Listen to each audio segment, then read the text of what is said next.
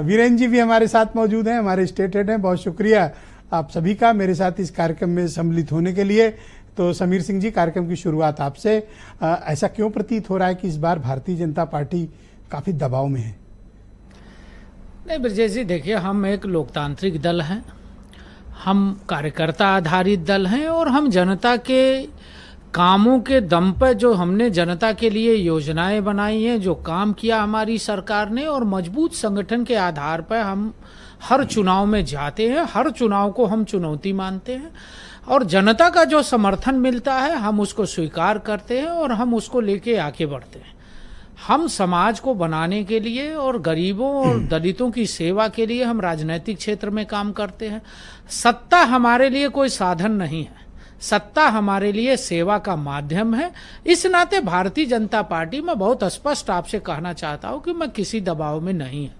Bharatiya Janata party के नेता, नीति, माननीय नरेंद्र मोदी जी, माननीय योगी जी, उत्तर प्रदेश के मुख्यमंत्री हैं, दूसरी बार मुख्यमंत्री हैं। और हम निरंतर जनता की सेवा कर रहे हैं, उसके आधार पर हम जनता के बीच में जाएँगे।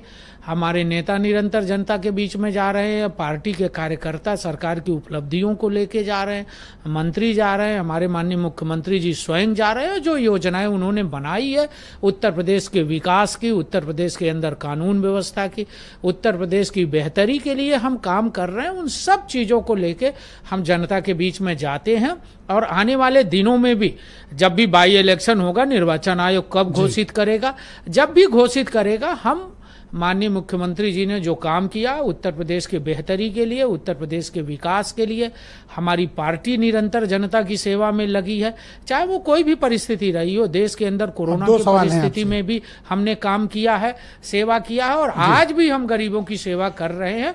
तो निश्चित रूप से हम इन सब विषयों को लेकर जनता के बीच में अभी ये लग रहा है कि जून में जो परिणाम आए थे उसके कारण आप पर अब उत्तर प्रदेश की असेंबली के बाई इलेक्शन में परफॉर्मेंस का बहुत ज़्यादा प्रेशर है। नहीं क्योंकि इस बार की चूक आपको बहुत महँगी पड़ेगी। नहीं नहीं देखिए ब्रजेश जी मैं पहले भी आपके यहाँ कहा हूँ इस बार फिर कह रहा हूँ। देखिए परफॉर्मेंस हमारा अच्छा है। हमारा परफॉर्मेंस कोई खराब नहीं है। लोकसभा का चुनाव हो रहा था और देश के अंदर माननीय नरेंद्र मोदी जी को देश की जनता ने तीसरी बार प्रधानमंत्री बनाया। हम उत्तर प्रदेश के अंदर 2014 जीते 17 जीते 19 जीते 22 जीते ये ऐतिहासिक घटना ब्रजेश जी। 40 सालों में किसी भी पार्टी ने दोबारा सरकार नहीं बनाई थी। माननीय योगी आदित्यनाथ जी के नेतृत्व में हमने पाँच साल सरकार चलाई और जनता ने तो इतना बड़ा हमारे लिए चुनाव बहुत आसान है। नहीं, सवाल खत्म। नहीं मैंने पहले ही लाइन कहा कि हर चुनाव हमारे लिए चुनौती है ये मैं मानता हूँ। हमारी पार्टी मानती है। आप देखिए हम निरंतर काम कर रहे हैं।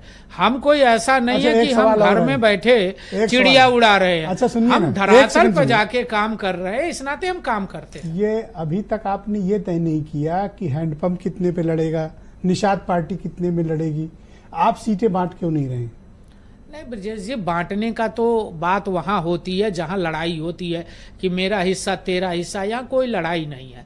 दस की दस सीटें हम लड़ रहे हैं, लोक दल लड़ रही है, हमारे सहयोगी दल लड़ रहे हैं और कहीं हमारे में कोई मतभेद नहीं है। हम एक दूसरे के पूरक हैं हम सहयोगी तो दल तो डेढ़ ज़िले की पार्टी को कितनी सीट मैं दे पहले भी इस बात को उदाहरण दिया इस बात का उदाहरण दिया हूँ कि हम्म। चुनाव हमारे लिए सहयोगी दलों के लिए कोई ऐसा नहीं कि सीट की लड़ाई है। बहुत सारे उदाहरण हम दे सकते हैं तो आप बांट देंगे ठीक से? नहीं नहीं टिकट की तो बात ही छोड़ दीजिए ब्रजेश जी। हमने तो अपने सहयोगी दलों के सम्मान और स्वाभिमान के लिए ऐसे ऐसे काम किए हैं जो राजनीति में उदाहरण है। जैसे? बहुत सारे ऐसे काम है। एक दर्जन इनको एक दर्जन काम है। एक दर्जन काम है। एक दर्जन मलिक की पार्टी को आपने मंत्री बना दिया। नहीं नहीं। बड़ा दिल दिखाया। हम पहले भी मंत्री बनाए हैं। लोक दल इसके पहले भी हमारे सहयोगी दल रहे और जब जब सहयोगी दल रहा लोक दल कैसे पता कि केपी मलिक की पार्टी हम, है? हम बड़े हमने तो नहीं कहा। हम बड़े मतों से जीते हैं और हमने हमेशा सम्मान किया है। चौधरी अजीत सिंह जी थे वो भी हमारे साथ थे मैं मनोज और हमारे अच्छे रिश्ते थे आज भी हमारे अच्छे रिश्ते हमारे सहयोगी दल है। हम कहीं ऐसी किसी भाषा का इस्तेमाल नहीं करते जिसमें लगे कि हमारा सहयोगी दल हमारा प्रतिद्वंदी है। जिनको लगता है जिनकी भाषा